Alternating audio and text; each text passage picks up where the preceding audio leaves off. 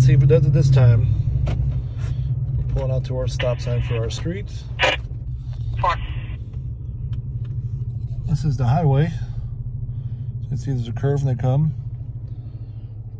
That's a highway curve, and sometimes you can't see where they're coming. So, if I were to pull out on the highway, not knowing cars coming because it looked clear, then I'll go step on the gas, and I'm fully floored, no, no power. And there we go, kick back in. So, and that.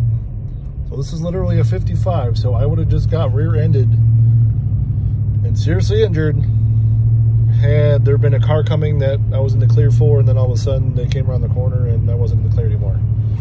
So Ford, let's go. Recall these F-150 transmissions because you know the 10 speeds are going. I know the federal lawsuits in there. So do right by your customers because we love our Fords, we love our F-150s, but I mean this is just insane. I mean this is a daily problem I'm dealing with and have been dealing with. I've had the adaptive learning reset by the dealer.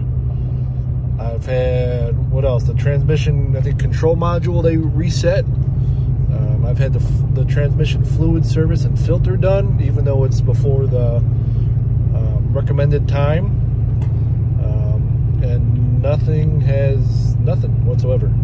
So please fix this because, yeah, it's, it's dangerous.